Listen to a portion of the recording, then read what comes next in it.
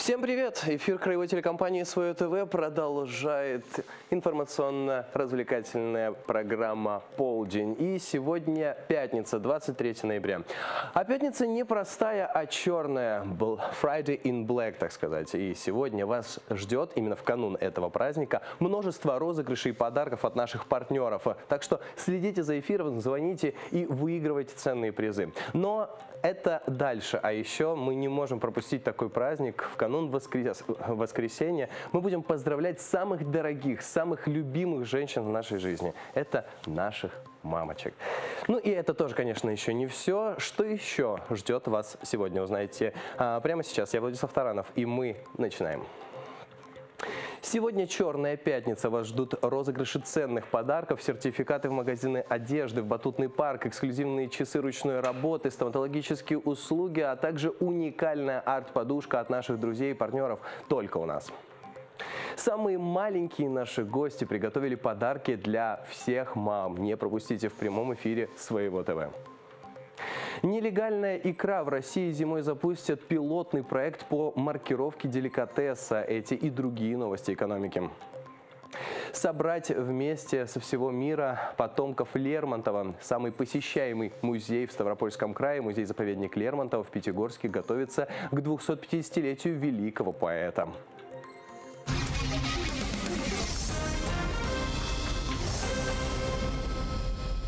Жирафенок покоряет сердца гостей э, берлинского зоопарка. Об этом не только в ближайшие полтора часа мы вам расскажем. Ну а мы вернемся к сегодняшнему дню. Какой же праздник без поздравлений и награждений? Накануне в Ставрополе прошла церемония вручения медалей «Материнская слава». Братья, сестры одной семьи, всего их 13 человек, вполне могут организовать музыкальную группу. Один играет на скрипке, другой на флейте, третий поет, четвертый рисует.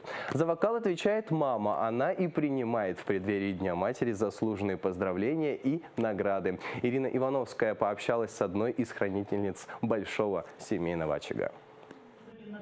Медаль «Материнская слава», которую вручили Сарбуи, уже третья. Этой первой степени награждают матерей, у которых 10 и более детей. Такие знаки отличия накануне Дня матери получили 46 ставропольских хранительниц домашнего очага. По традиции многодетных родителей со всего края пригласили в Ставрополь. Несколько лет подряд мы приглашаем не только мам, но и пап прекрасно понимаю, что в этой награде большая часть заслуги всей семьи, это и отца, и матери. У нас э, в Ставропольском крае, когда мы видим вот это рост многодетных семей, мы говорим о том, что значит нашим многодетным семьям у нас на Ставрополе комфортно. Краевую награду учредили в 2008 году. За это время медаль вручили почти 1100 многодетным женщинам со всего Ставрополья. В их домах чаще всего раздается слово «мама». И каждого из ребят нужно выслушать, каждому помочь, поддержать или дать совет.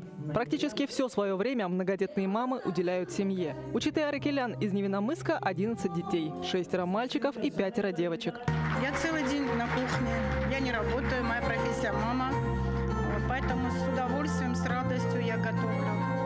Но заботливая хранительница успевает все, в том числе раскрыть в детях таланты. Один играет на скрипке, другой на флейте, третий поет, четвертый рисует. Сейчас в семье растут специалисты разных профессий. Химики, электрики, художники, преподаватели. Авторитет отца в воспитании непререкаем, а он учит важным вещам.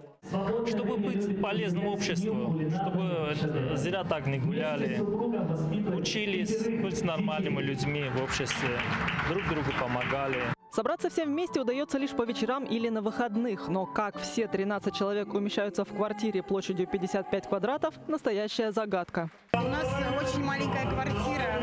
Когда его приобретали, у нас было двое детей. Однако сейчас все семейные дела и проблемы на время позабыты, ведь на торжественном награждении они главные героини. А профессия мамы – это настоящий подвиг, за который медаль не самая главная награда. Ирина Ивановская, Иван Шаталов, Ставропольское телевидение.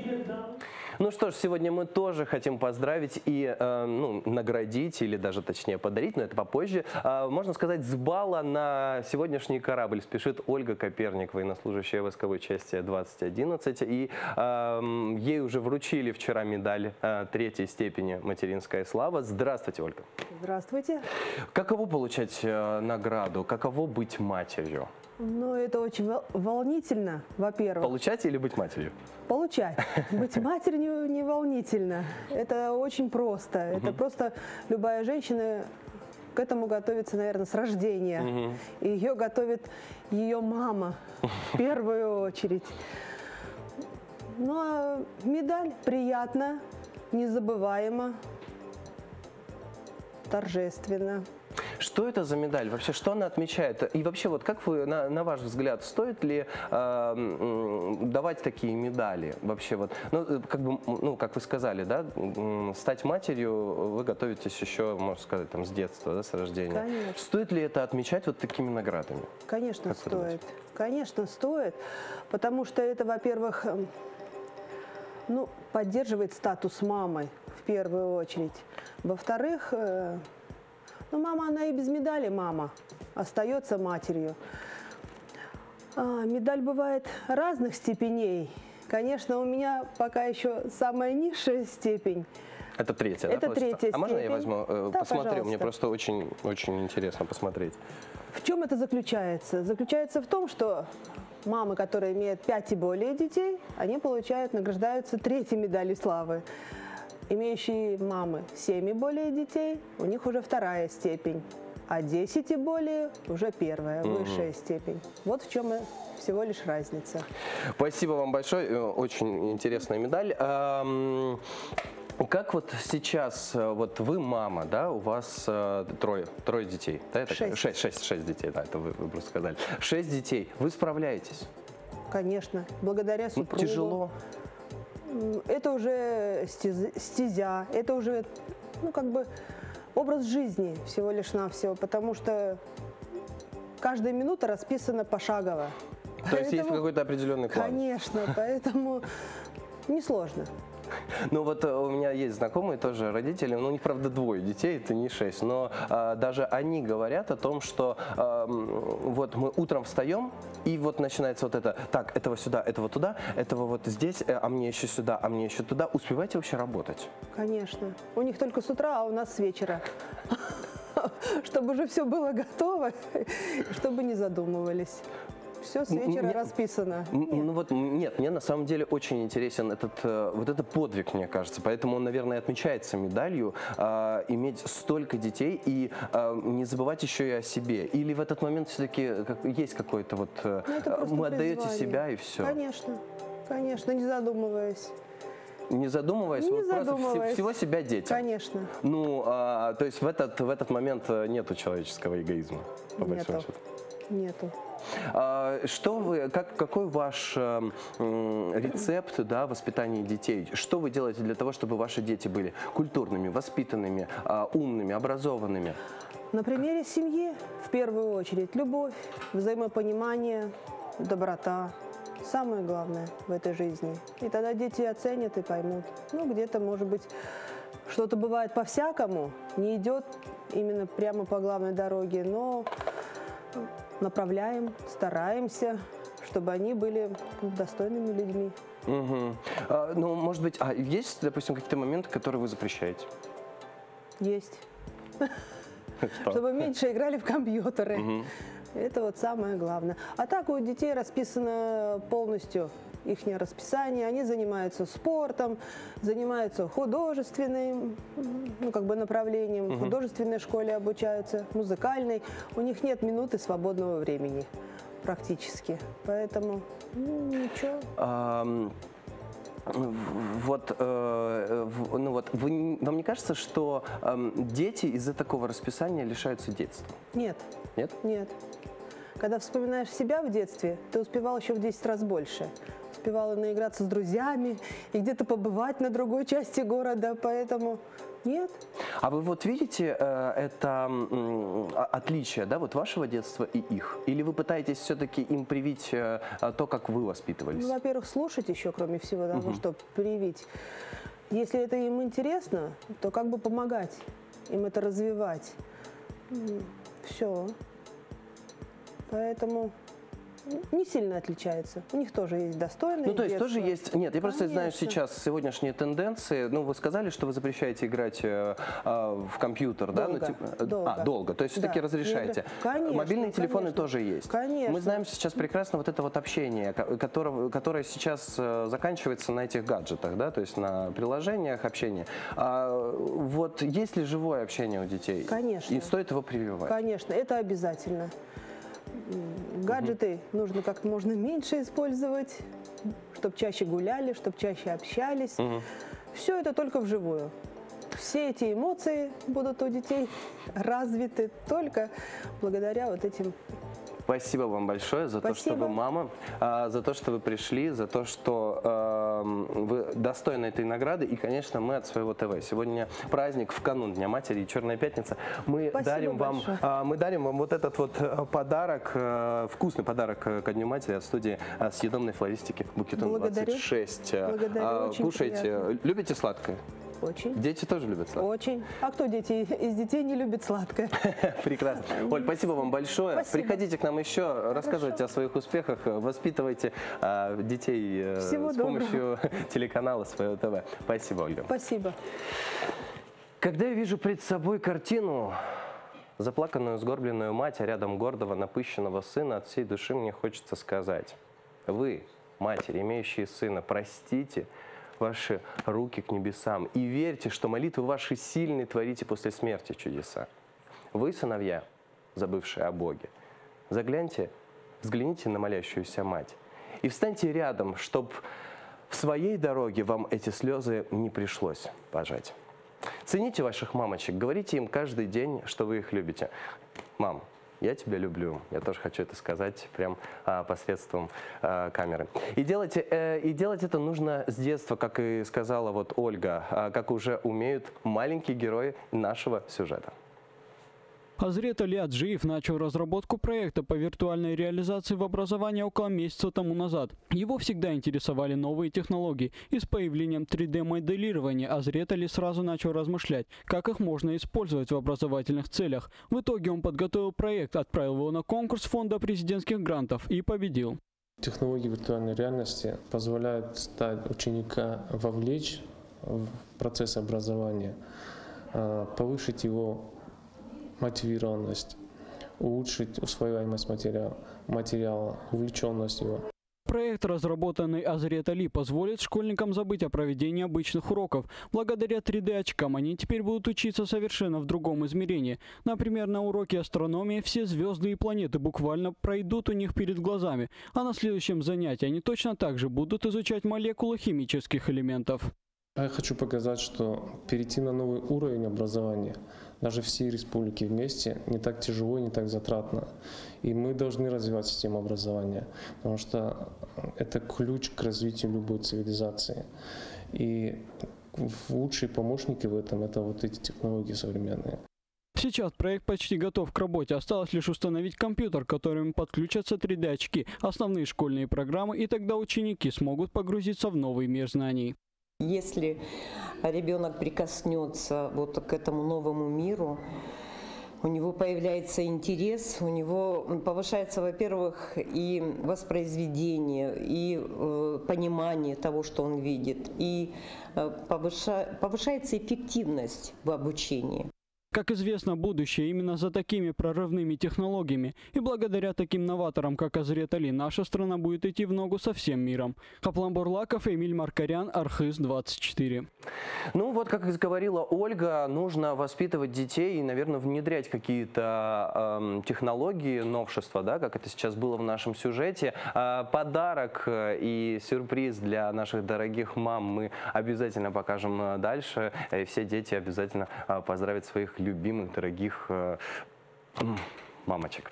И, кстати, сегодня вот такое интересное совпадение Черной пятницы и праздника Дня Матери. Э, Вы, я напоминаю, дорогие телезрители, можете участвовать в наших сегодняшних розыгрышах и получать подарки от наших партнеров. Поздравлять этими подарками своих дорогих и любимых мамочек, конечно же. И а, первый приз – это подарочный э, сертификат на а, 2000 рублей от магазина а, «Фурс». Ставрополь, ТРЦ Новый Рим, улица 50 лет ВЛКСМ, дом 5. А, огромнейший ассортимент и приятные цены, а наш сертификат сделает э, цены еще приятнее. А, по телефону э, 8 800 707 02 26 вы можете звонить э, нам и, и эм, звонить нам и э, участвовать в розыгрыше. А вопрос э, такой. Как переводится слово «фюрс»?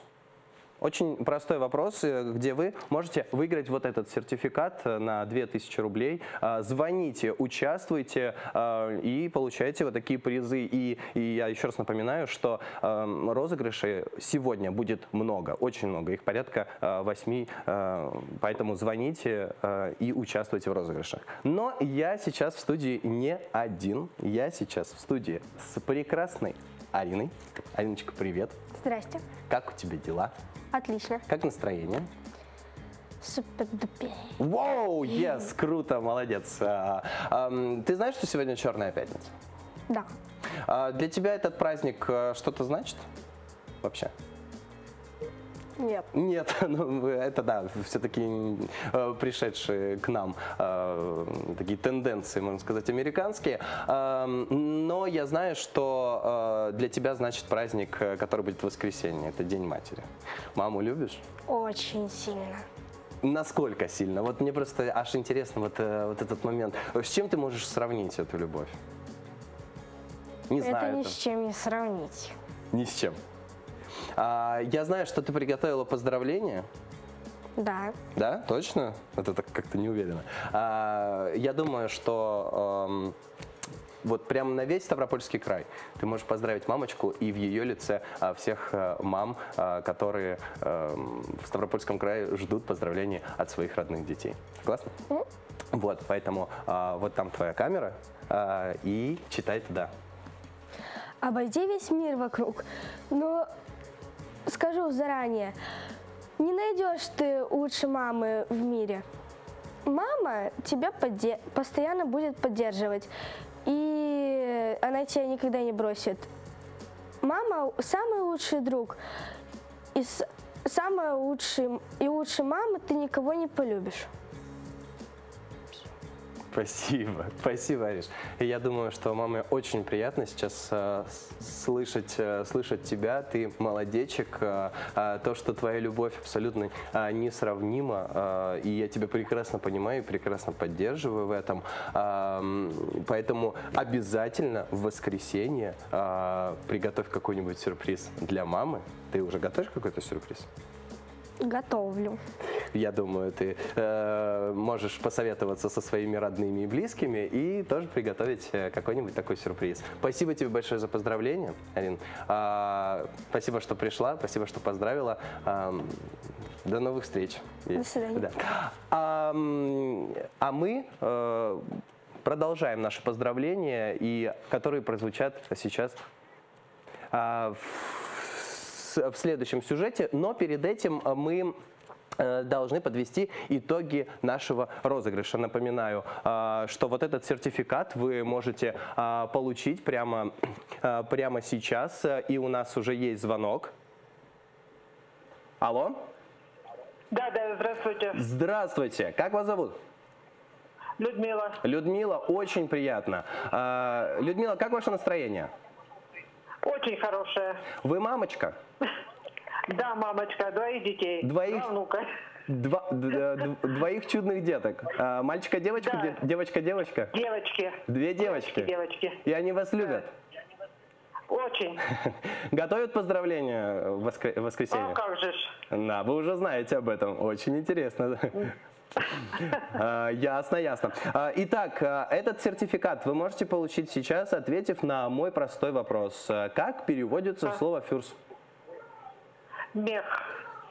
Абсолютно правильно, абсолютно правильно, Людмила. А, Мы этот сертификат передадим вам. Оставайтесь на линии. Спасибо, что вы а, мама. Я уверен, что вы великолепная мама. А, Спасибо, что звоните к нам в эфир своего ТВ. Ну, а сейчас, как я уже говорил, поздравления от детей. Всем привет, с вами Антон и Степа. Каждый день мама заботится о нас. Это огромный, огромный, преогромный труд.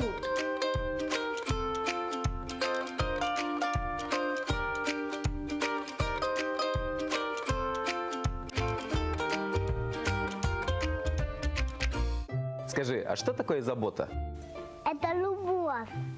А это когда тебя очень сильно любят и покупают игрушки. Забота – это когда мама мне делает красивые прически. Это когда ну, человек с тобой близко всегда. Это сердечно. А как твоя мама заботится о тебе? Очень-очень сильно. Укладывает меня вот так. Раз, два, три. И я засыпаю. Она меня целует. Ну, всегда ближе ко мне.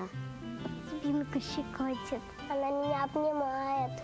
Мама делает дома суп. Что ты хочешь пожелать своей маме? Цветочков на празднике и садиков тоже. Очень длинная платье. Чтобы ее всегда на работе везло, чтобы ее все мужчины любили, чтобы она была такая красивая, как цветочек. Я желаю, чтобы моей мамочке все время было весело. Вот так. Чтобы маме была корона. Я маме желаю здоровья, счастья и маленькую сестричку. Дорогие наши, любящие и самые любимые мамы, спасибо за вашу заботу, за вашу нежность,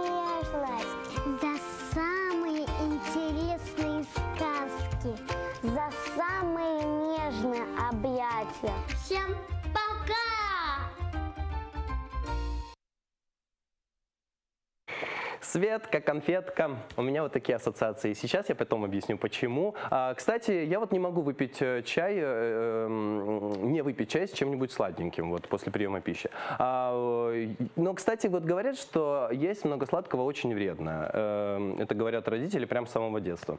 Я это, собственно говоря, к чему? Есть возможность проверить свои э, зубы, полость рта и провести профилактику гигиены а, рта. А, поскольку именно это и предлагает наш друг стоматология доктора Конно, Конного по адресу 50 лет в ЛКСМ 33 а, район а, торгово-развлекательного центра Москва. И вот, э, собственно говоря, это подводка к моему вопросу. А, Существует 12 так называемых полезных сладостей. А, Я прошу дозвонившихся к нам назвать 5 из них. Тот, кто их назовет, получит сертификат на профилактику гигиены полости рта. А, Они у меня есть, прямо прописаны. Я буду вас внимательно слушать. Назовете 5 из них и получите вот этот самый сертификат. А почему у меня была а, ассоциация а, с э, именем Светка Конфетка? Потому что у меня в студии сейчас просто очаровательная, а, великолепная, светлая, радужная, такая вот сейчас почему-то очень серьезная Света. Света, привет. Привет. Давай ручку. Как у тебя настроение? Хорошо. Хорошо. Ам, ты пришла а, поздравить свою маму. Да? Ну да. И в, и в ее лице всех мам Ставропольского края. Правильно? Да. Как ты любишь маму? Целую, обнимаю и ей помогаю. Ты, и как, и вот как ты утром маму обнимаешь? Обнимешь меня? Да. Давай. Светка. Я вот, я вот почувствовал абсолютно все тепло, э, которое ты передаешь своей а, мамочке. Светочка, что ты приготовила для поздравления? Куклу. Куклу маме? Да. Прямо вот э, в воскресенье ты будешь дарить куклу? Да. А где она? Она дома? Да. Да? Ты не принесла ее? пока- Ну да, правильно, показ- показывать нельзя, потому что э, в воскресенье э, это не будет сюрпризом для мамы, правильно? А вот эм, давай ты сейчас вот так вот повернешься вот, а, вот туда вот на камеру, а, вот тебе сейчас там э, машут, и поздравишь свою, ам, ой, вот так вот, да, вот таким воздушным поцелуем поздравишь мамочку. Что ты бы вот ей сейчас сказала, если бы она была рядом, прямо вот э, напротив тебя? Ее люблю и целую и обнимаю. Моя ж ты, зайенька. Еще раз давай обнимемся. Ой, ты ж моя хорошая. Вот, а, спасибо тебе, Светочка. Я уверен, а, я, а, я уверен, что ты просто любишь маму. Но ты же в воскресенье приготовила стишок? Да, Ты его, ты можешь его сейчас прочитать? да. Вот, э, давай, вот туда вот смотрим и читаем стихотворение. а? Давай. Кто пришел ко мне с утра?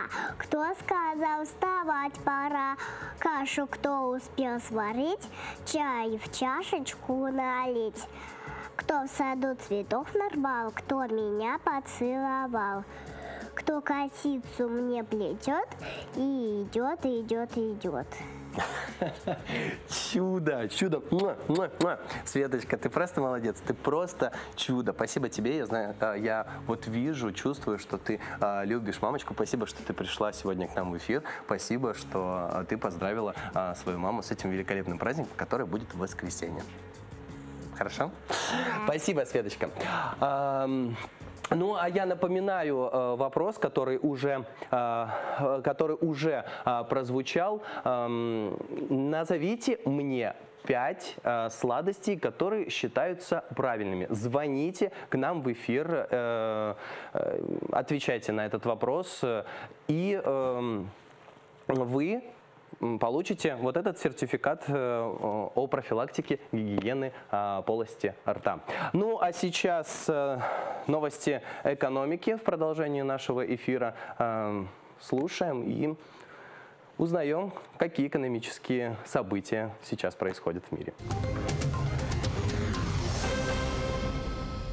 Бензиновые игры. Топливный союз заявил о риске закрытия независимых АЗС. Нелегальная икра. В России зимой запустят пилотный проект по маркировке деликатеса.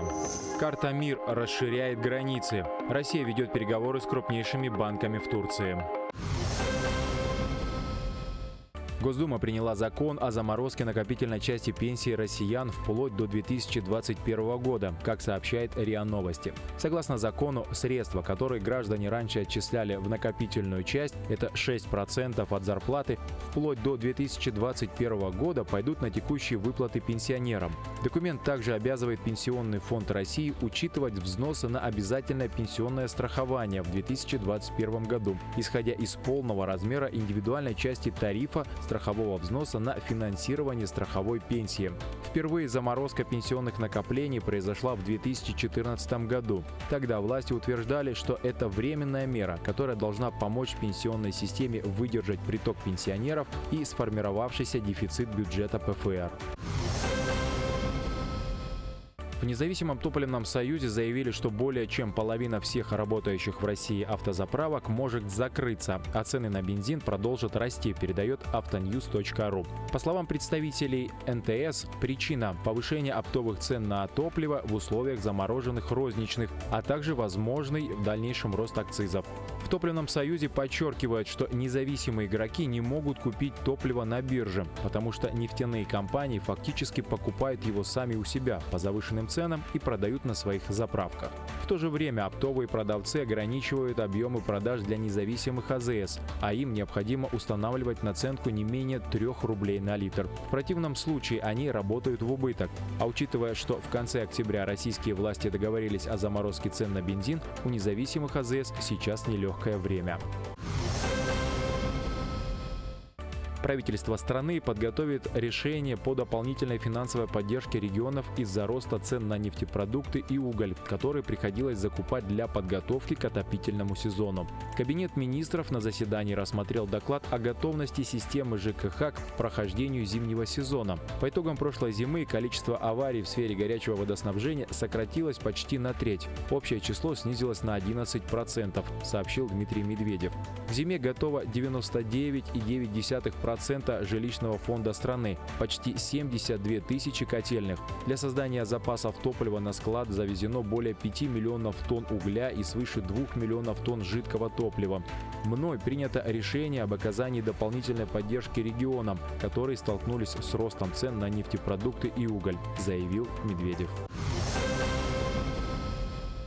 В России зимой запустят пилотный проект по маркировке черной икры. Как сообщает РБК, Росрыболовство разработала систему по введению маркировки продукции из осетровых, лососевых и других пород. Союз осетровых в ближайшее время планирует начать добровольную маркировку икры, мяса и продукции из осетровых рыб. В эксперименте примут участие Минпромторг, Ростех и Центр разработки перспективных технологий. Оператор маркировки, которая уже применяется на рынке шуб, лекарств и табака.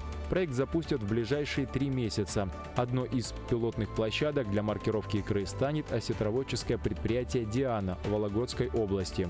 Мясо осетровых предположительно начнут маркировать в Астраханской области. В будущем маркировка может стать обязательной. Контроль по расчетам Росрыболовства позволит решить проблему контрафакта, который занимает сейчас 80% рынка. Учитывая, что средняя стоимость легальной черной икры у производителей составляет 30-40 тысяч рублей за килограмм, объем нелегальной продукции оценивается в 200 тысяч тонн. Это браконьерская икра, добытая в дикой природе. Кроме того, огромные объемы черной икры поставляют из Китая. На Дальнем Востоке эта икра оптом продается по цене 6-8 тысяч рублей за килограмм.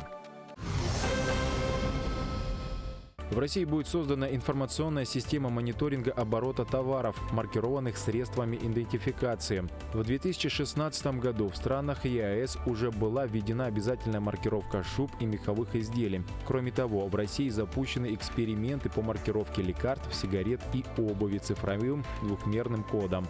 До 2024 года в России предполагается создание системы сплошной маркировки и прослеживаемости товаров. Законопроект должен заработать с 1 января 2019 года. Порядок работы системы определит Кабмин. Будет установлен перечень информации, подлежащей обязательной передаче в систему. Также будет прописан порядок изъятия и уничтожения конфиската немаркированных товаров. Автор законопроекта назвал целью инициативы обеспечение поставок потребителям качественных, эффективных и безопасных товаров. Это удастся реализовать путем защиты легального оборота от сфальсификата и контрафакта. Каждому товару будет присвоен код маркировки в машиночитаемой форме, представленной в виде штрих-кода или записанной на радиочастотную метку. Центробанк ведет переговоры с банками Турции о работе российских карт МИР в этой стране. Об этом сказала директор Департамента национальной платежной системы Банка России Алла Бакина. Она уточнила, что с одним из банков Турции такое соглашение уже подписано. Кроме того, аналогичную работу регулятор ведет и с другими странами, в которых любят бывать россияне. Это, например, Вьетнам, ОАЭ и Таиланд. Бакина выразила надежду, что в следующем году будут подвижки в этом направлении. Сейчас уже карта карта мира работает в Армении, к концу года должна заработать в Киргизии, а в следующем году в Белоруссии.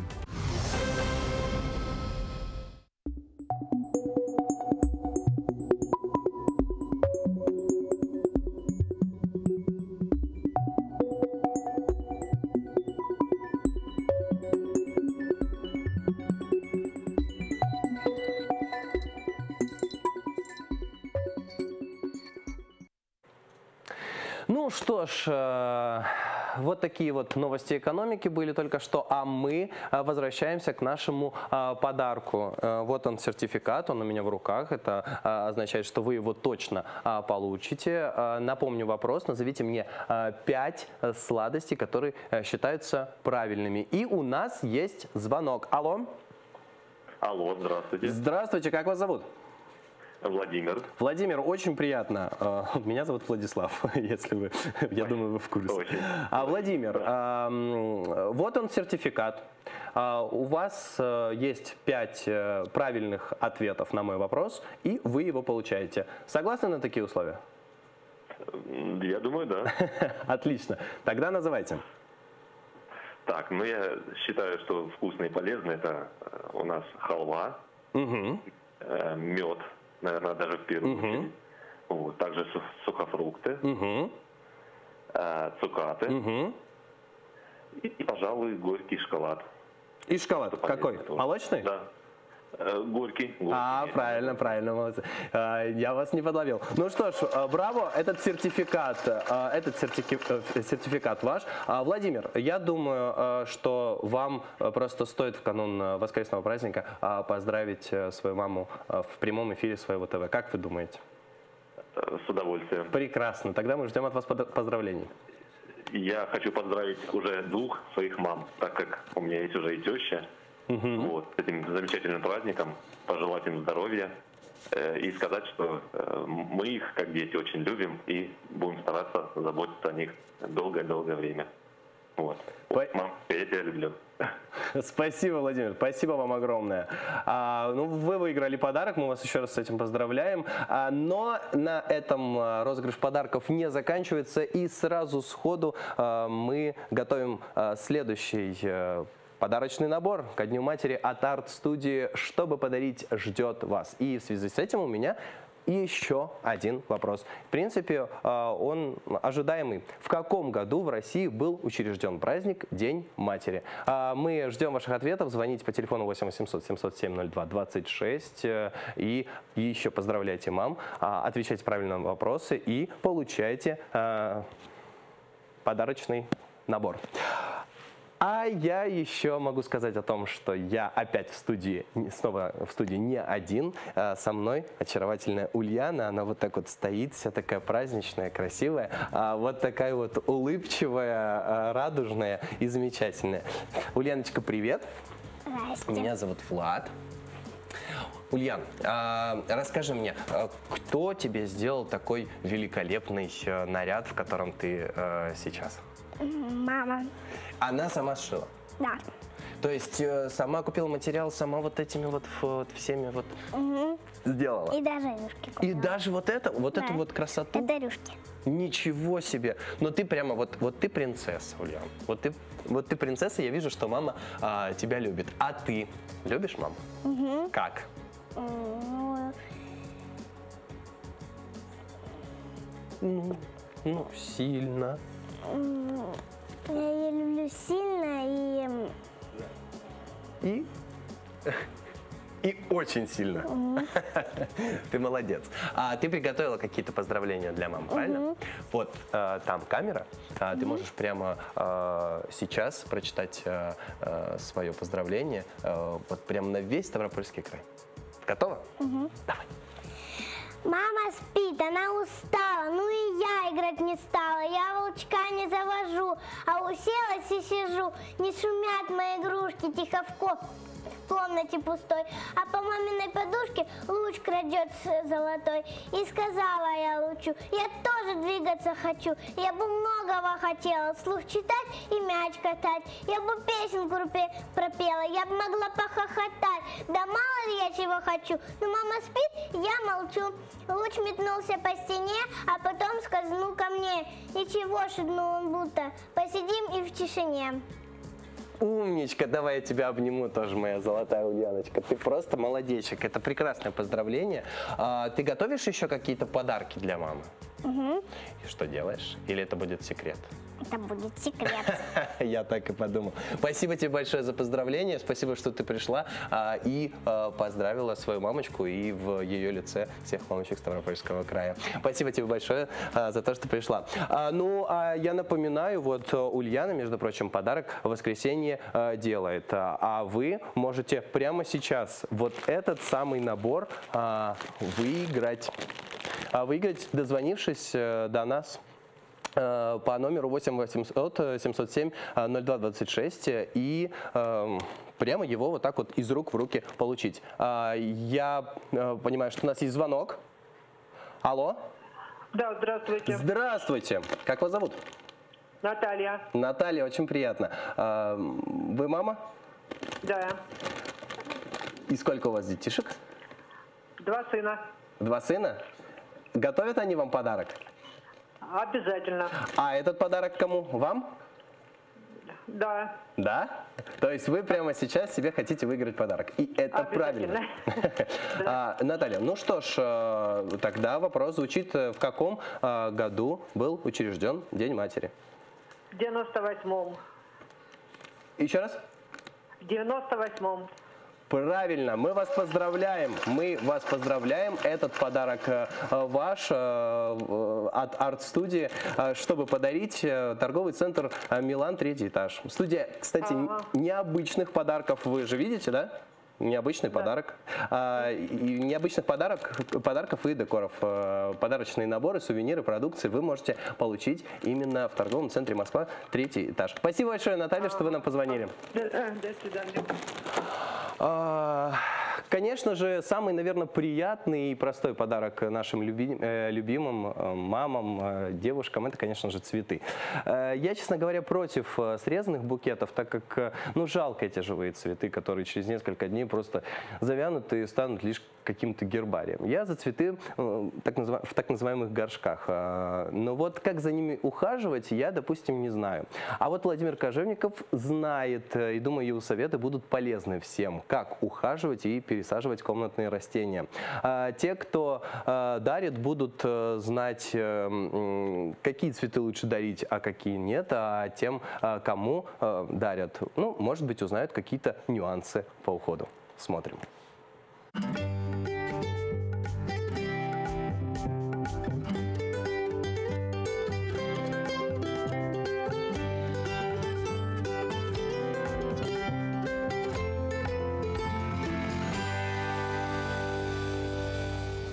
день, умелые вы наши. У многих наших телезрителей э, в помещении цветут э, различные луковичные э, растения. Ну, к сожалению, большинство из них дает цветы только один раз в году, но они просто так не зацветают. Это достаточно такие требующие внимания растения. Ну вот взять одна из самых неприхотливых растений – это кливия, которая цветет, в общем-то, несколько раз в году. Но сегодня мы э, уже не можем показать цветочное э, цветущее растение.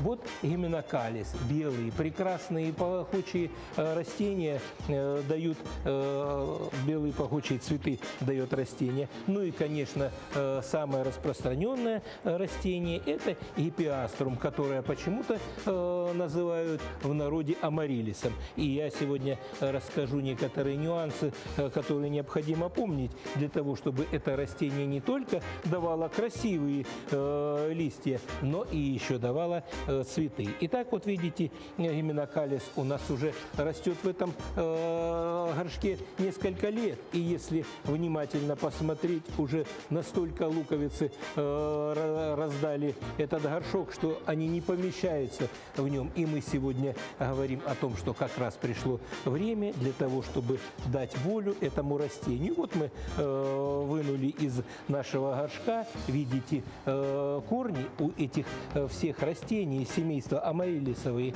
многолетние. Э, То есть тогда, когда мы будем разделять это растение, необходимо постараться оставить как можно больше корней в живом состоянии. Но посадка не отличается ничем от всех остальных. Это дренаж в горшке, это легкая, легкий субстрат, в котором большая часть, конечно, э, э, нашего пресловутого торфа, ну и, конечно же, какое-то количество э, грунта. Ну и вот сейчас я покажу, как разделять это растение для того, чтобы оно у нас сохранилось не просто живое, но и дало в следующем году э, урожай. А урожай в данном случае – это большое обилие э, цветов. Необходимо как можно осторожнее э, размять этот наш ком земли. Убираем те верхние корни, которые, видите, уже темные, которые уже старые, а молодые оставляем при нашей луковице, разминаем ее и достаем из нее э, луковицу, потому что в противном э, случае наше это растение ни в коем случае не будет э, нам давать цветы. Наконец-таки мы отделили. Это мы пока оставляем здесь. Итак, мы э, практически подготовили наш вот контейнер. Вот новые э, корни, значит, старые э, корешки, как я уже сказал, можно и подрезать, конечно же, чтобы они нам э, не мешали, потому что они свое отжили. А молодые, конечно же, оставляем. Все растение подготовлена для э, посадки. Но сажать, опять же, необходимо помнить, ни в коем случае луковицу нельзя заглублять. Корешки аккуратненько э, заправляем, раскладываем их по всей э, площади нашего контейнера, слоями засыпаем грунт и притрамбовываем. И притрамбовываем для того, чтобы эта луковичка наша держалась в центре нашего контейнера. Ну и после э, посадки мы э, польем, и в таком состоянии именно калис будет э, жить всю зиму. И весной он нам даст красивые-красивые цветы. Но я хочу сказать, что у нас есть другое растение, э, гипиаструм, который необходимо несколько по-другому к нему подходить. А именно, вот у нас луковички, которые уже подошли практически Э, к времени цветения. Но, но э, они не э, перешли в состояние покоя. И поэтому необходимо все эти амариль, гипиаструмы укладывать вот таким вот горизонтальным образом и прекратить полив. И положить их практически где-нибудь в темное помещение. А если у нас имеется крупный гипиаструм, мы сейчас его найдем, который уже практически перешел в состояние покоя, имеет вот такую крупную луковицу, мы можем его достать из контейнера вот таким вот образом. Здесь точно так же э, корни имеются э, старые и есть молодые корни. Мы их подрезаем, э, верхнюю чешую старую убираем, листики лишние обрезаем. И вот в таком состоянии, вот в таком состоянии э, складываем э, в в ящички и перекладываем их бумагой. В таком состоянии они лежат у нас до э, января, февраля или э, марта месяца. И когда нам необходимо зацвести, чтобы эти растения зацвели, мы их вынимаем примерно за две недели до начала цветения, помещаем, естественно, уже в новый контейнер, и они у нас будут давать цветы уже в следующем следующем году. Этот процесс, я уже несколько раз говорил, называется э, выгонка. Зачем мы это делаем? Мы можем их оставить и в контейнерах, но просто часто бывает э, у людей малое э, место и в квартире, мало места и на подоконниках. И поэтому вот это один из способов сохранения и растения, и сохранения площади вашего жилища. Но во всяком случае и один, и другой принцип сохранения растений, он э, сводится к тому, чтобы растения остались э, до весны, и весной дали нам цветы. Вот такие небольшие нюансы. Если вы будете помнить, то растения будут и украшать ваше жилище в течение зимы, а уж весной дадут прекрасные цветы. До свидания.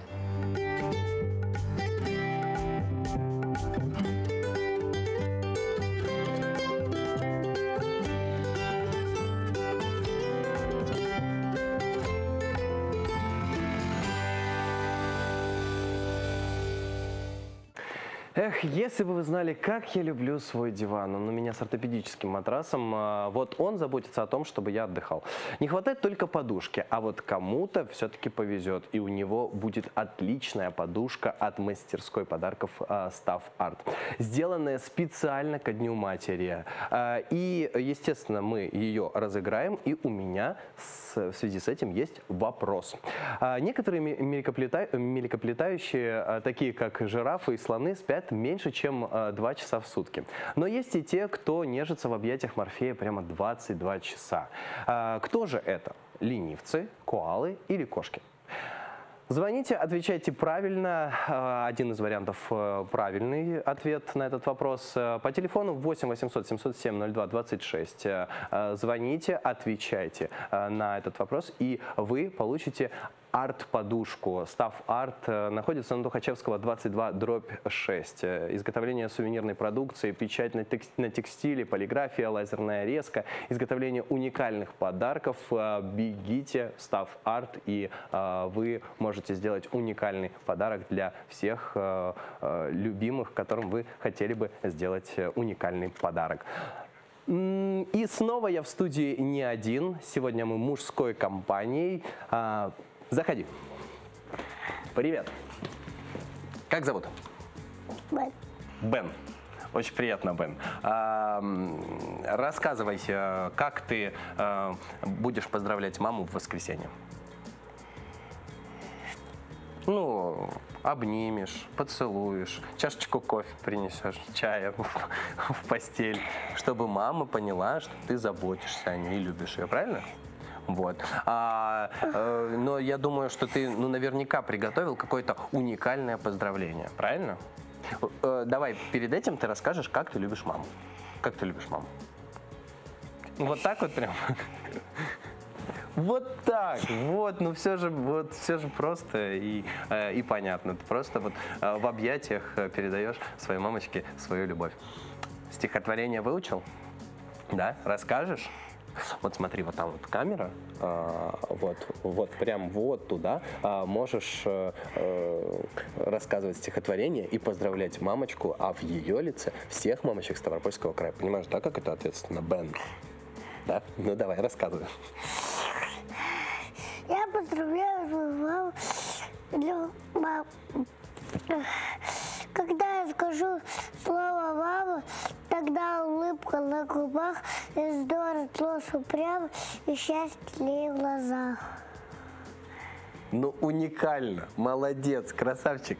Ты просто настоящий мужчина. А, Я э, чувствую, верю, что э, ты любишь свою маму, она любит тебя, и вы большая, дружная, э, классная семья. Спасибо тебе за то, что ты любишь маму. А, Вот на твоем примере а, обязательно нужно учиться всем детям Ставропольского края. Понятно? Спасибо тебе большое. Еще раз давай руку. А, Спасибо, что ты пришел. А а у нас э, есть звонок э, в студию, а, которые уже а, готовы получить э, арт-подушку от наших друзей Став Арта. Алло. Да, здравствуйте. Здравствуйте. Как вас зовут? Меня зовут Наташа. Наташа. Вы мама? Да. И сколько у вас детей? А одна дочка. Одна дочка. А, Вот э, подарок, который мы сейчас разыгрываем, это вам? Или может Ну, кому-то? посмотрим. А, посмотрим. Все-таки еще не разобрались. Посмотрим. Да, если дочке понравится, я думаю, она его не отдаст никому. Хорошо. Ну что ж, э, итак, вопрос. Э, Кто нежится в объятиях Морфея 22 часа в сутки? Э, Я считаю, что правильный ответ – коала.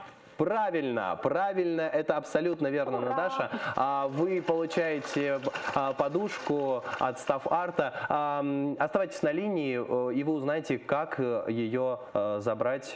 Так что вы обязательно Хорошо, ее получите. спасибо большое, Спасибо, до спасибо. свидания. Итак, эм, к новостям.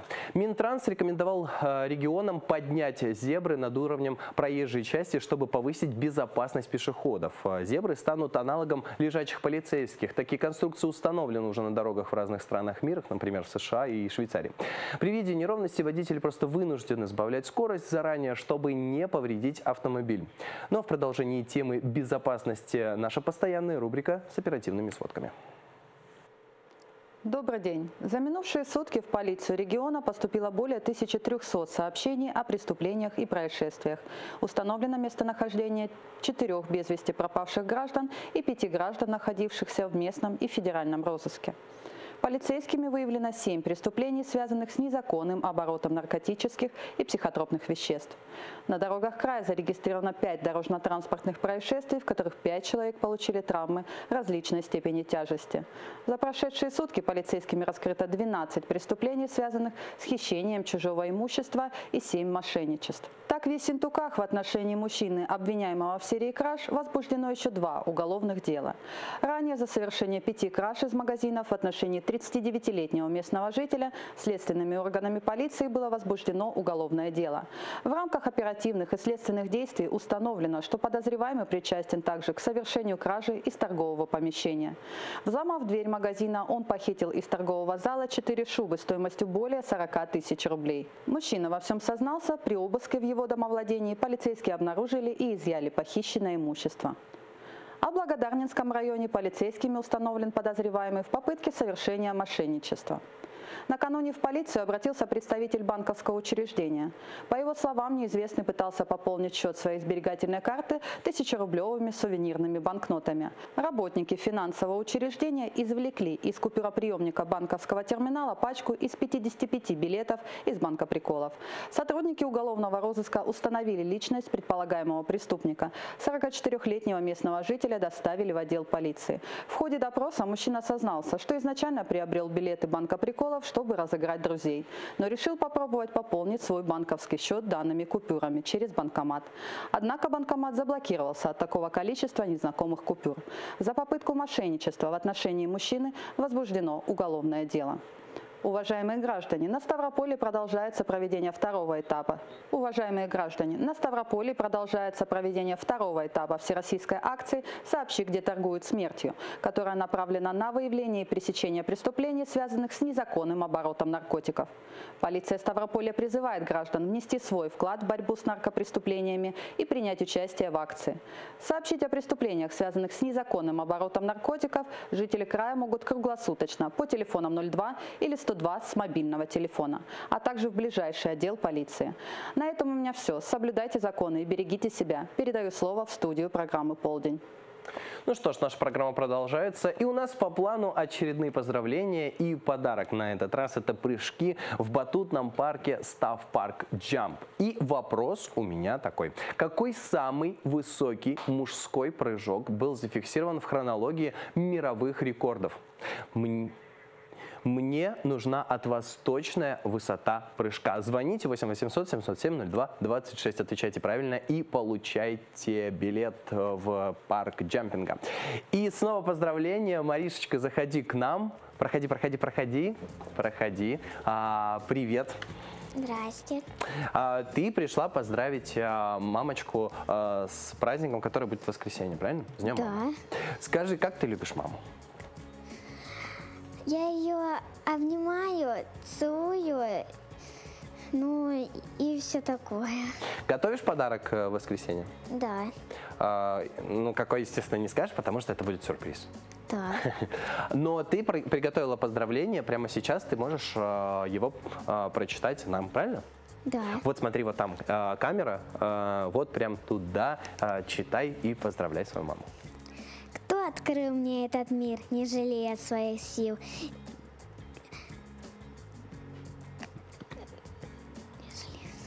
Ну, начни сначала. Кто открыл мне этот мир, не жалея своих сил и всегда оберегала лучшая на свете мама? Кто на свете всех милее и теплом своим согреет, любит больше, чем себя? Это мамочка моя. Книжки вечером читает и И? книжки вечером читает и всегда все понимает. Ну что, разволновалась? Разволновалась. Ну, э, давай так, у нас сейчас по плану э, реклама, а потом ты дочитаешь стихотворение. А, сейчас мы прервемся, оставайтесь с нами.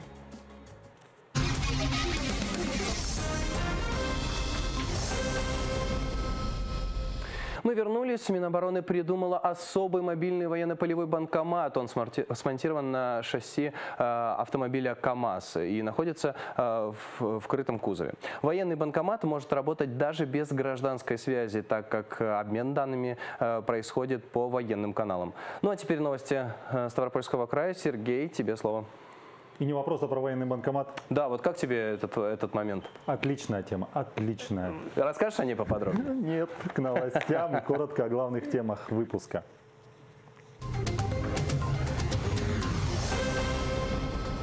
Зима все ближе. Первые серьезные заморозки ожидают наш край в эти выходные. Ее смелости позавидуют многие мужчины. Продавщицу, которая отбилась от пистолета шваброй, наградили в Минводах.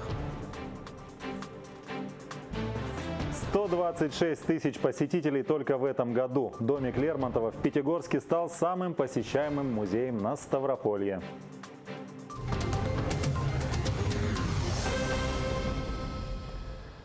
А теперь подробнее об этих и других новостях. В Ставрополе в эти дни проходит форум «Зимний Доброград-2018». Он собрал более 300 активистов со всего Северного Кавказа и юга страны. Участники рассказывают о своих проектах, которые они реализовывали в течение года. Обсуждают планы на 2019. На слете проходят семинары, мастер-классы и презентации. На месте событий сейчас работает моя коллега Виктория Середа. Она на связи со студией. Вика, что там сейчас происходит? Здравствуйте, уважаемые коллеги, здравствуйте, уважаемые телезрители. В эти дни в Ставрополе проходит, наверное, уникальное по своим масштабам мероприятие «Зимний Доброград». Кто в нем принимает участие? В нем принимают участие общественные организации, активисты, добровольцы. К слову, в этом году э, движению добровольцев Северного Кавказа исполняется 20 лет, а именно завтра, 24 ноября. И прямо сейчас, в эти минуты, в молодежном пространстве «Лофт» Ставрополя работают различные интерактивные площадки. А что здесь происходит интересного, нам подробнее расскажет один из организаторов. Здравствуйте. Э, представьтесь, пожалуйста. Зинковская Дарья, директор ОНО Институт социально-креативного развития актива. Дарья, ну расскажите, пожалуйста, вот ваша площадка, чем она сегодня занимается, да и вообще, и что вот такого интересного подготовили, кто ваши участники? Ну, вообще, в первую очередь, наверное, стоит сказать о самом слете, потому что слет организует э, сразу одновременно много образовательных площадок. То есть тут реализуются проекты, поддержанные фондом президентских грантов, проекты такие, как кампус общественных объединений Старопольского края, ресурсный центр содействия «Защита плюс», а, также направленные для образования педагогов, школьников в сфере правового, экономического просвещения, межнационального. И помимо этого, третья площадка – это международный научно-образовательный проект искусство ведения переговоров, дебатов, публичных выступлений в мультикультурной среде. Именно на этой площадке, ну, если кратко мы называем про ораторство, вот, а, участники присутствуют из различных регионов Кавказа, а также различных стран. То есть на данной площадке мы обучаем их созданию аналогичных площадок конструктивного диалога молодежи в своем регионе или в своей стране. То есть как это создать, как это сделать, как насытить непосредственно информацией данную площадку, как научить нашу молодежь а, в диалоговом формате разрешать, возможно, возникающие конфликтные ситуации. Вот э, вы говорили, что участники из разных регионов. Я так понимаю, сегодня очень много гостей. Откуда они? А у нас есть, во-первых, все регионы Северного Кавказа, Южный федеральный округ. Помимо этого, допустим, если мы говорим про нашу площадку про ораторство, там есть представители Таджикистана, а, ЛНР и Египта. Мы видели что сегодня, что все происходит в игровой форме. Вот э, какие-то игры. Для чего они нужны? Мы понимаем, что, в принципе, даже молодежь, которая приехала учиться, если мы будем проводить образовательные площадки в виде лекций, и 4 часа они будут сидеть и просто слушать, пусть э, информация, которая будет очень важна, но все равно ты от этого устаешь, потому что образовательная программа на Доброграде рассчитана с 9 утра и до 10 часов вечера. Поэтому каждая тренинговая площадка содержит непосредственно какие-то интересные интерактивные упражнения. А если мы говорим, опять же, про прораторство, там упражнения упражнения а, проводятся для того, чтобы потом провести рефлексию и объяснить, что стоит проводить, какие упражнения делать у себя в регионе, для чего, на какую аудиторию и к чему эти упражнения приводят. По итогам вот э, закончится форум 25 числа, правильно мы понимаем? И э, в дальнейшем как-то будете дальше реализовывать эти проекты? Резолюция будет составлена или вот в каком формате будет вот это обобщение?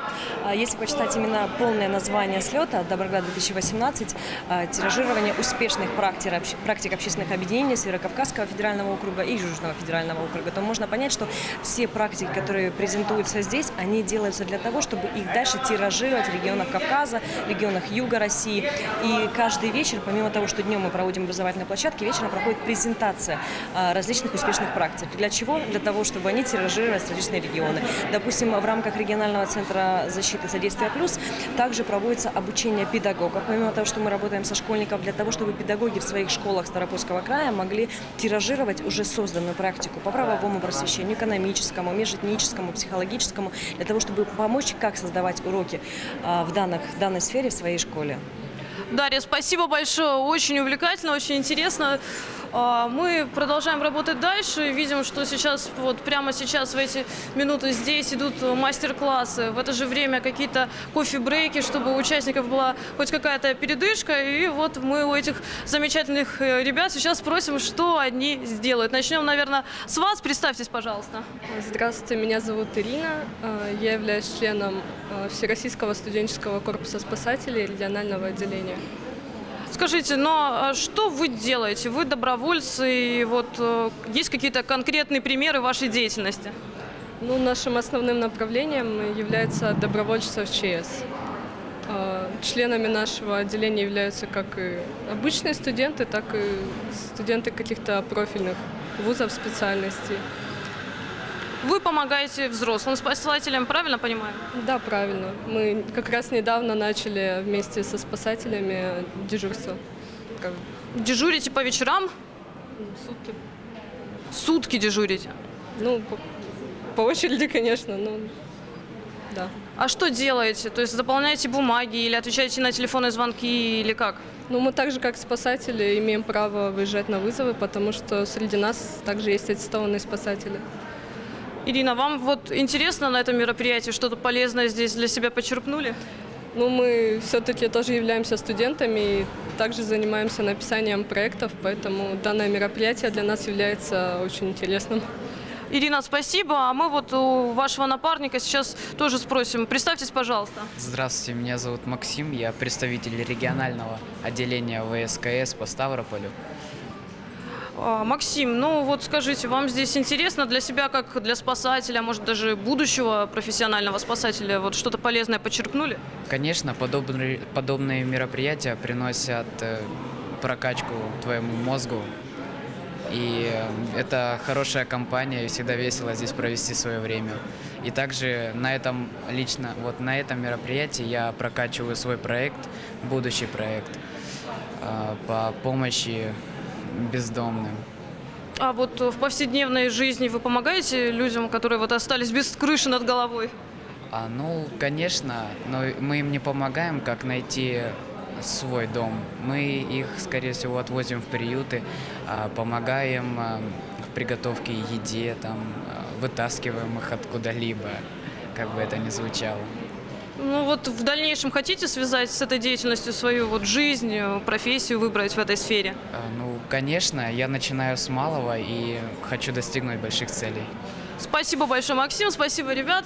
Ну, а я напомню, что в данный момент мы работаем в молодежном пространстве «Лофт». Здесь проходит зимний Доброград. Вот. А, а подробнее о том, как, э, что здесь происходит, какие площадки работают, мы расскажем в следующих выпусках новостей. А я передаю слово своим коллегам в студию.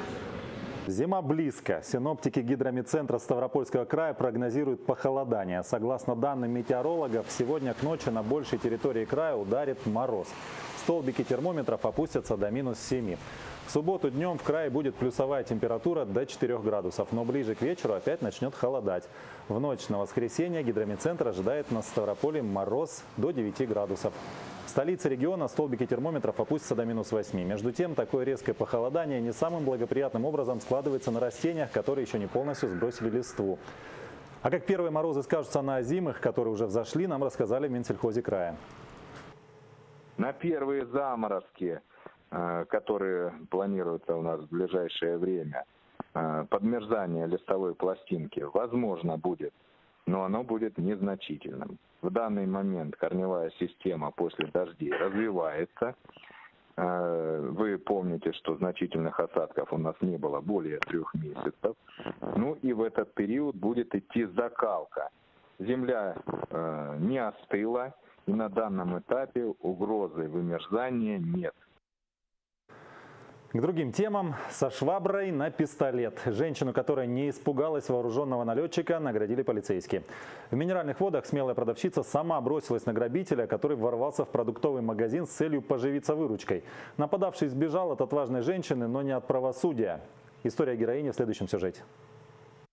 Махала, отбивалась. Вот. Ну, просто было бы что-то другое, допустим. Ну, если бы даже у него просто хотя бы не было пистолета, можно было просто как бы подраться. Минеральные воды, промзона – маленький круглосуточный продуктовый магазин с обычным для таких торговых точек ассортиментом. Елена рассказывает, когда поздним вечером к ней зашел тот покупатель, сразу почувствовала что-то неладное. И когда он достал пистолет, испугаться не успела. Решила действовать, как-то отвлечь его внимание. А сама в подсобку, за шваброй, которая оказалась круче огнестрельного оружия. И он тут пистолет перезарядил, как бы я вообще даже опешила, как бы, да.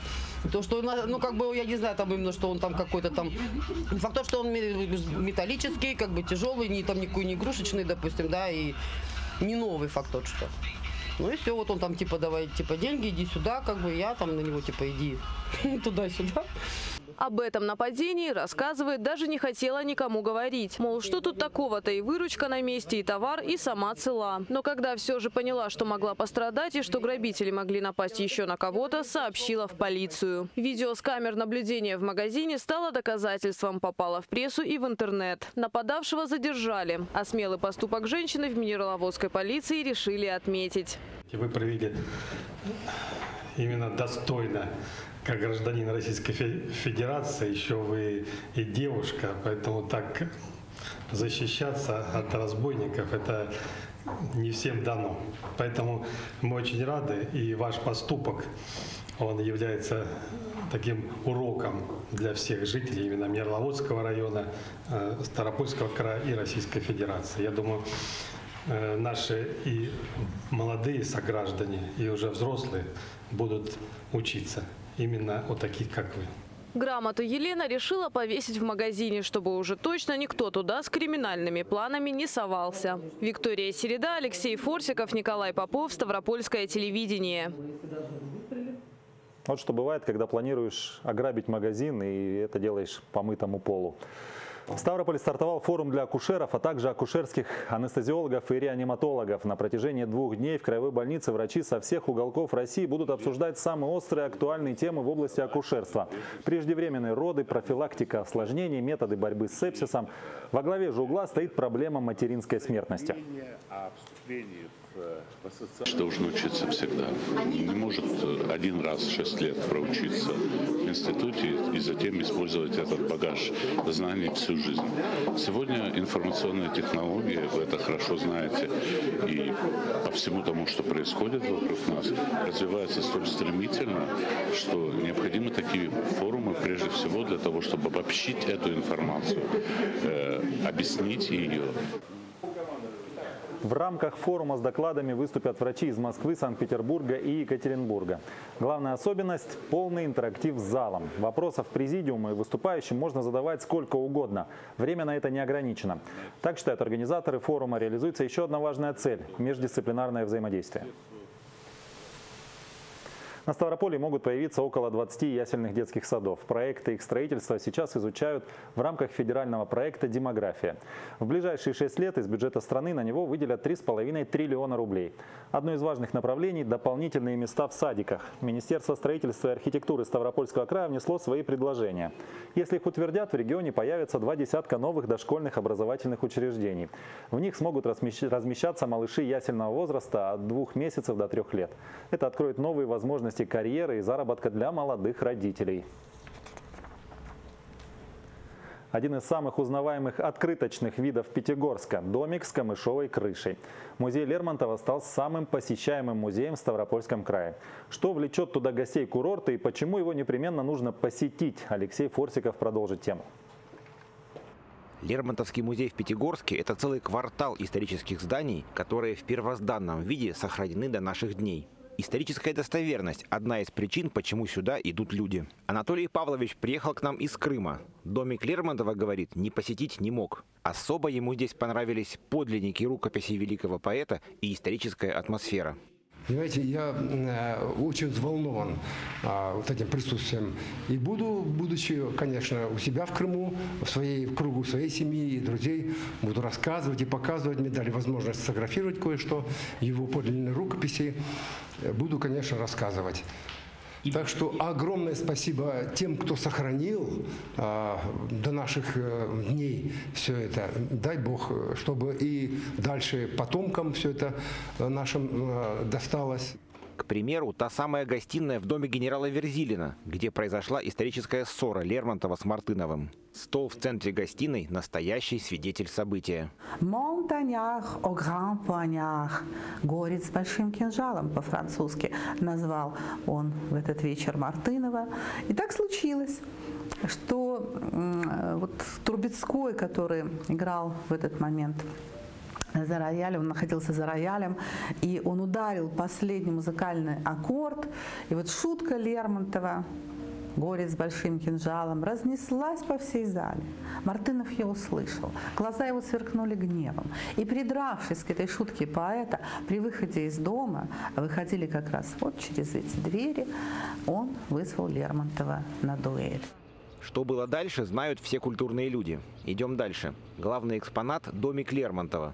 Он буквально в 20 шагах от дома Верзилина. Три комнаты с кухней, спальня, гостиная и кабинет.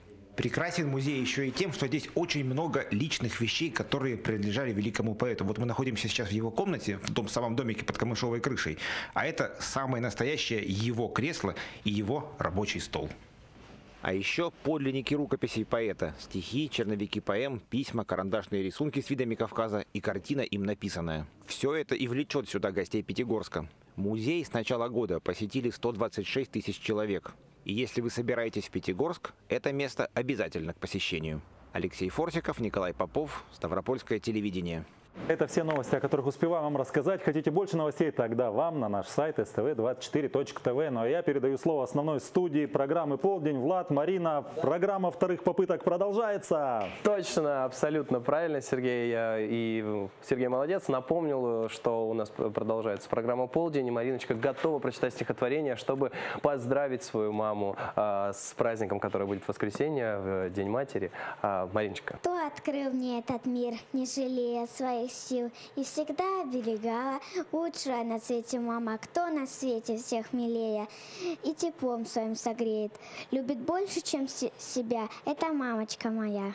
Молодец. Ну вот видишь, все же просто и замечательно. Мариш, спасибо тебе большое за то, что ты поздравила а, мамочку. Спасибо, что пришла. А, ну, а я напоминаю о том, что а, у нас еще а, есть подарок. Это джамп, это батутный парк, Став Джамп Парк, который находится на Кулакова 35. Вот сейчас этот сертификат у меня в руках. И звонок уже есть в нашу студию. А, алло. Да-да-да, добрый день. Добрый день. Как вас зовут? Елена. Елена, очень приятно. А Елена, любите прыгать? Ну, я сама прыгать-то не очень. Я уже в том возрасте, когда, наверное, не прыгают. А вот дети и внуки у меня любят прыгать. То есть это им? Этот сертификат. Это им, да. А, итак, Елена, ну тогда расскажите, какой же самый высокий прыжок был зафиксирован э, в книге рекордов а, мужской? Ну, если я не ошибаюсь, то в 2012 году канадец Унгар прыгнул на метр шестьдесят. Правильно. А, спасибо большое. А, спасибо огромное, а, что вы звоните, что смотрите свое ТВ и выигрываете эти подарочки. Вы получите этот сертификат. Оставайтесь на линии. Ну что ж, посмотрите на... Эм, эм, на этих людей, которые звонят э, нам э, в прямой эфир и выигрывают подарки. А сейчас э, мы перейдем в полдень, который происходит в мире. Двухнедельный жирафенок покоряет сердца гостей зоопарка Берлин Фридрих Шфельде. Свои первые дни он провел в теплом помещении, теперь же его на часик выпускают побегать в открытом вольере. Далее полдень в мире смотрим. Длинноногий жирафенок по кличке Эмма весело скачет по просторному вольеру зоопарка Берлин Фридрихсфельде. Эмми чуть больше двух недель от роду и до сих пор она жила в закрытом помещении с мамой. Теперь она вышла на улицу, и посетители могут посмотреть на нее. Она, конечно, учится бегать. Это очень важно для молодых жирафов, поскольку в дикой природе 50% животных становятся жертвами хищников. Эмма относится к редкому подвиду жираф Ротшильда. В дикой природе их осталось не более 700. Обитают они в заповедниках Кении и Уганды, а в некоторых зоопарках мира работают программы по разведению исчезающих жирафов. В 2016 году их занесли в Красную книгу. Животные попадают в нее только тогда, когда оказываются под угрозой исчезновения. Поэтому каждый жираф, разведенный в неволе, очень важен. Ну а Эмма тем временем беззаботно бегает по вольеру и познает мир. Жирафенок даже пытается самостоятельно поесть. Она, конечно, подбирает какие-то листики, но еще не может прокормиться ими. Ей по-прежнему нужно материнское молоко.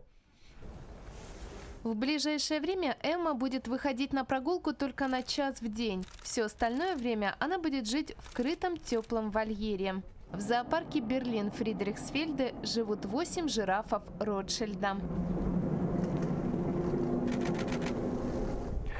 Посмотрите на эту прекрасную рамку ручной работы. Она просто превосходная. Я сейчас ее поставлю вот здесь, э, потом узнаете почему.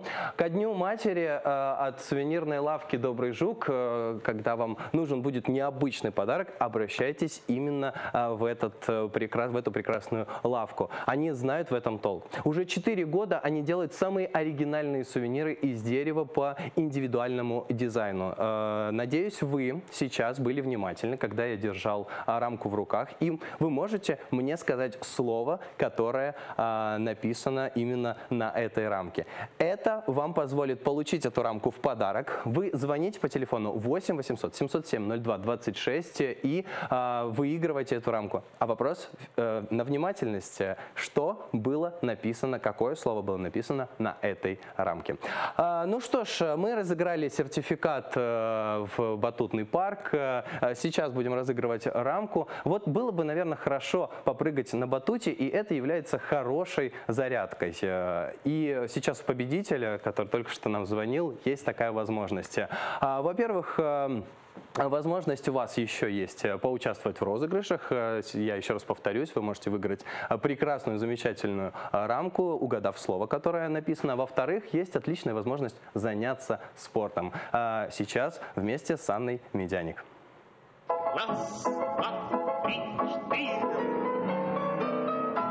Всем привет, это рубрика «Зарядка». Но сегодня наша зарядка будет супер необычной. Вам не понадобятся ни кроссовки, ни гантели, хотя они нам в принципе никогда не были нужны. Сегодня мы будем делать зарядку для наших глаз. И для этого у меня сегодня не только тренер, но и самый настоящий администратор, глаза которого в принципе устали по-настоящему. Раз, два, Четыре. Продолжаем. Сегодня мы сделаем три упражнения. Зарядку для глаз. Нам понадобятся ладошки, администратор и наши умения и знания. Трем ладошка в ладошки так, чтобы они были тепленькие, притепленькие. Выполняйте. Выполняйте. Это важно. Да, трем. Теперь очень аккуратно, как масочку, накладываем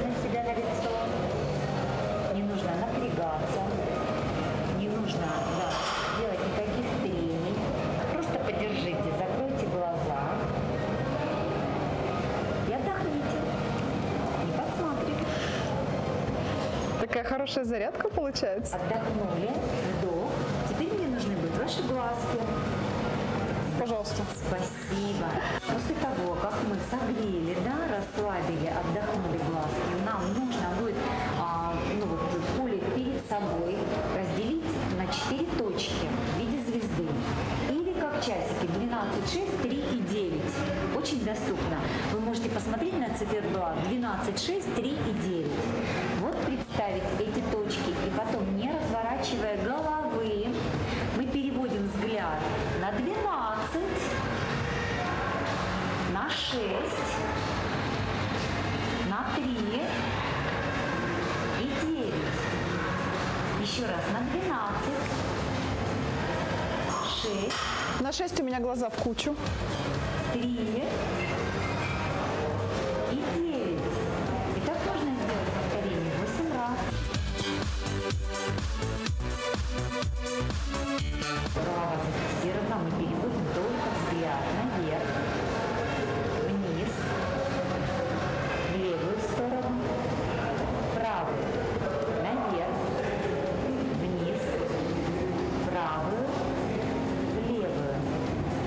Следующее упражнение мы будем делать только в проекции плоскости,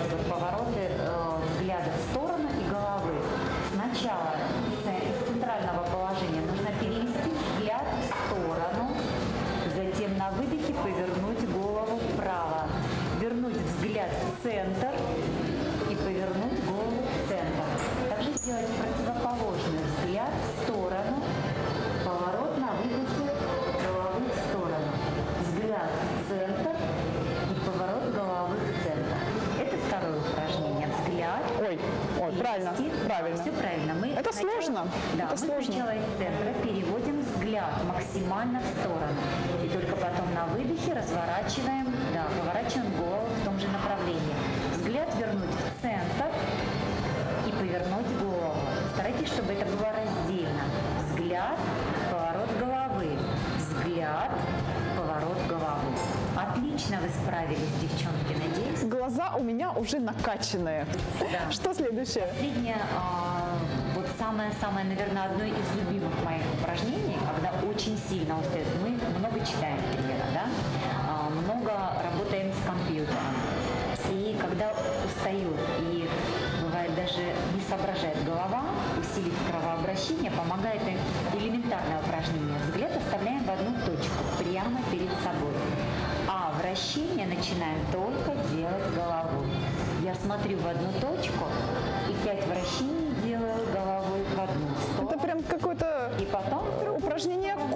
я вам хотела сказать.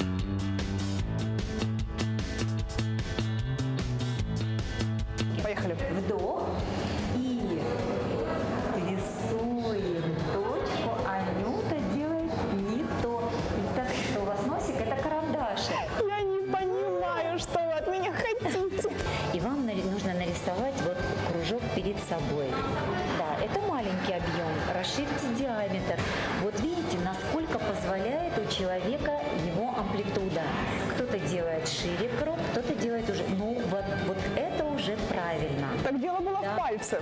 Ну, Друзья мои, я с вами прощаюсь. Ира, все получилось? Надеюсь. Определись. Ира все еще не рисует носиком круг. Видите, в первую очередь не нужно забрасывать голову назад. То есть не, не круговые движения вот шеи, а вот именно круговое движение лицом. При этом оставить взгляд в одну точку. Мы с вами прощаемся, но ненадолго. Занимайтесь спортом. Пока. Раз, два, три, четыре. Ходьбу закончится. Вот такая вот бодрая зарядка с упражнением «Кобра». Ну, а я напоминаю, что у нас сейчас идет э, розыгрыш. Мы разыгрываем э, рамку от сувенирной лавки «Добрый э, жук». Я ее не показываю, потому что именно с ней связан вопрос. И у нас уже есть звонок. Э, Алло? Алло, здравствуйте. Здравствуйте, как вас зовут? Виктория. Виктория, мне очень приятно. А, Виктория, ну, вы внимательны, да? Я так надеюсь, во всяком случае, еще ответ не знаю. А как вы будете отмечать э, воскресенье праздник? День матери. В кругу семьи, своих родных. Прекрасно. И у вас уже, можно сказать, э, есть подарок практически у вас в руках. Если вы знаете правильный ответ э, на мой вопрос. Итак, какое слово было написано на рамке? Конечно же, семья. Правильно, вы очень внимательны, спасибо вам большое. А, отмечайте праздник, вот эта рамка, она э, ждет вас, она здесь. Оставайтесь на линии, узнайте, а, как э, ее забрать. Очень красивая рамка, я ее оставлю здесь. И у нас продолжаются э, розыгрыши. Еще один сюрприз от своего ТВ. Декоративная подушка антистресс. Она прямо сейчас у меня в руках. И чтобы ее получить, надо просто дозвониться к нам и поздравить мам с профессиональным праздником. Как это собираются делать э, наши э, сегодняшние гости? Подходи сюда. А, Чуть-чуть вот здесь, да. А, Как вас зовут? Представьтесь, пожалуйста. Меня Аня. Привет, Аня. Меня Тимофей. Привет, Тимофей. Аня, Тимофей, а вы приготовили поздравления для любимых мамочек, правильно? Да. Отлично. Давайте по очереди. Вот там есть э, камера. а, Прям туда читайте поздравления. По-русски мама, по-грузински нана, а по-аварски ласково. Баба. Из тысяч слов земли и океана у этого особая судьба. Став первым словом в год наш колыбельный, оно порой входило в дымный круг, и на устах солдата в час смертельный последним зовом становилось друг. На это слово не ложатся тени, и в тишине, наверное, потому слова другие, преклонив колени, желают исповедаться ему. Родник услугу, оказав кувшину, лепечет это слово от того, что вспоминает горную вершину. Она прослыла матерью его. И молния прорежет тучу снова, и я услышу за дождем следя, как, впитываясь в землю это слово, вызванивают капельки дождя.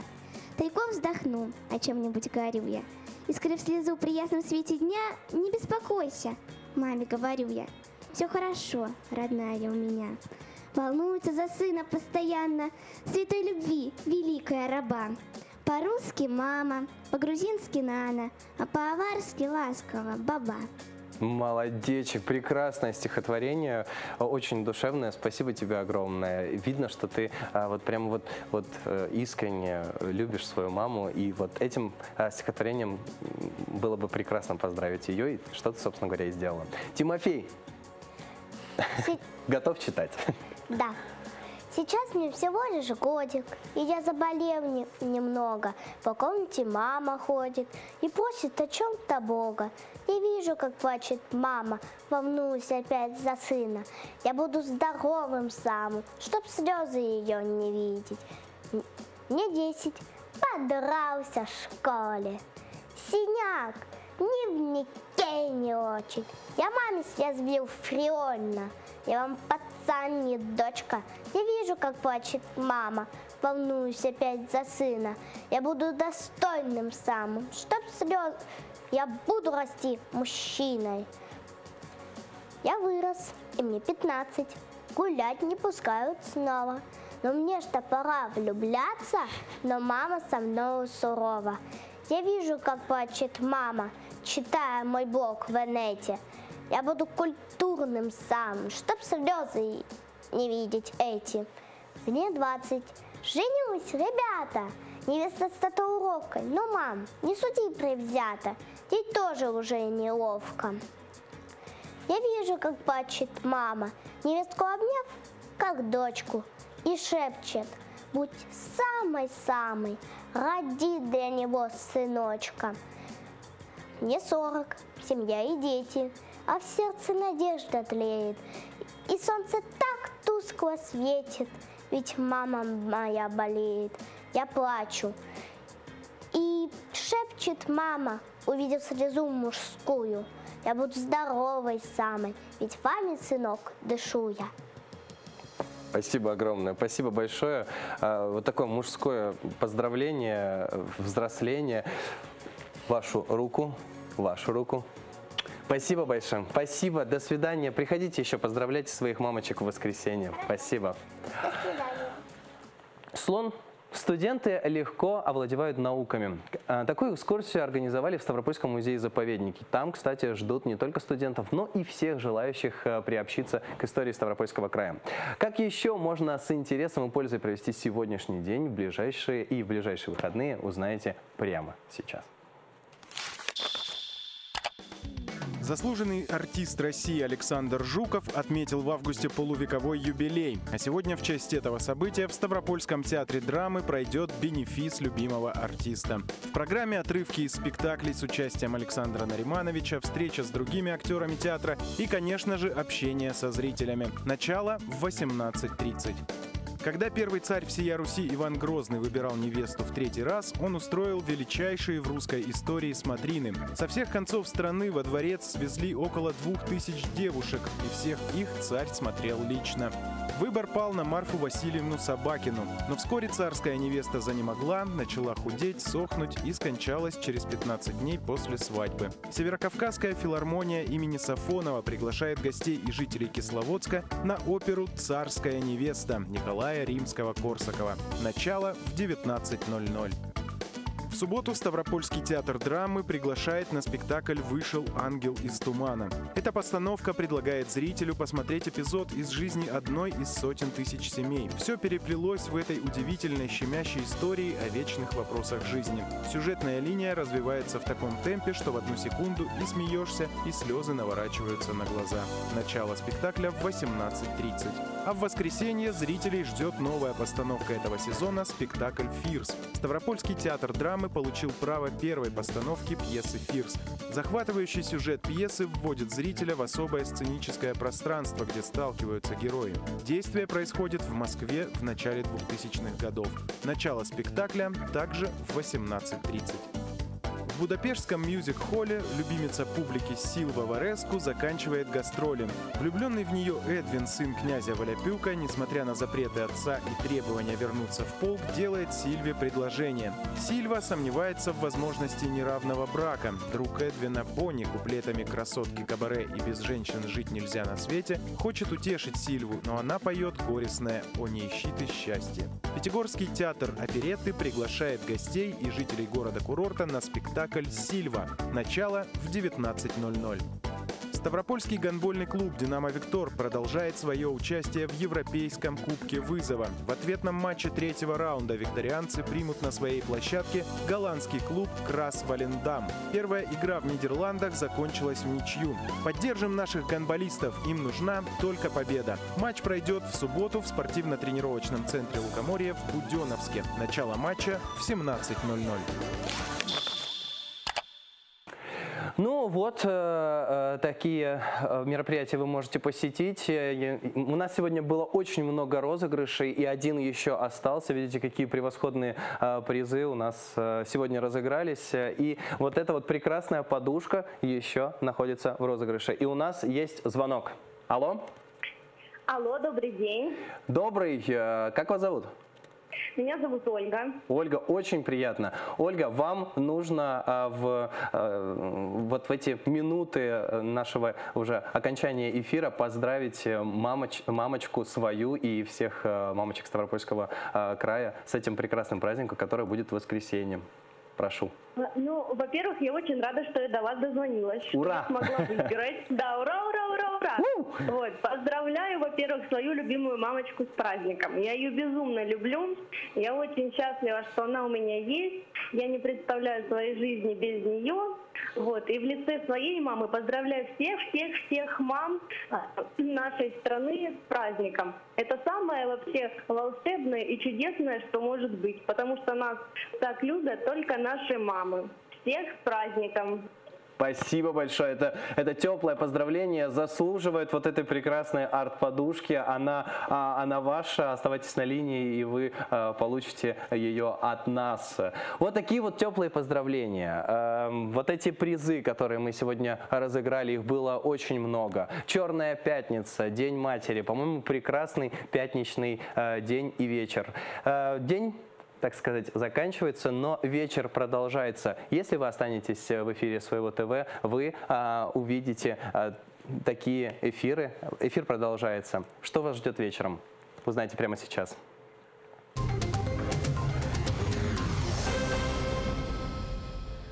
В 18.30 горячая линия резюме. В 19.30 информационная программа «День» расскажет об итогах сегодняшнего дня. Не пропустите.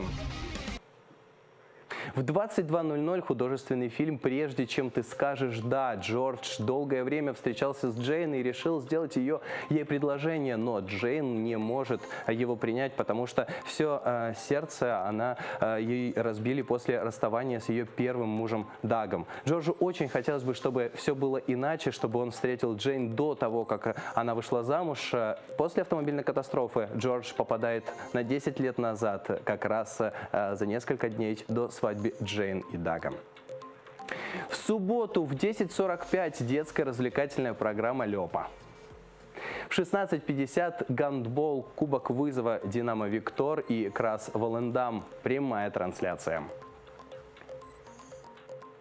В 21.00 э, два дня, одна ночь. Судьба Сандры зависит от решения нескольких человек, вынужденных выбирать между ней и деньгами. Пытаясь склонить людей на свою сторону, она ищет в их сердцах то, что они, кажется, давно уже потеряли. В воскресенье в 21.00 художественный фильм «Роковая страсть». Ева с сестрой Магдой покидают родную Польшу в поисках земли обетованной, которой им представляется Нью-Йорк. По прибытии Магда заболевает туберкулезом и ее помещают в кара- в карантин. Одинокая, растерянная Ева попадает в сети бесстыдного сутенера. О дальнейшей судьбе двух сестер смотрите в в это воскресенье на своем ТВ. Ну что ж, на этом у нас все. Мы прощаемся с вами. Желаем вам хорошего дня, успешных покупок и любите своих мам. Программа «Полдень» прощается с вами до понедельника. Оставайтесь на своем.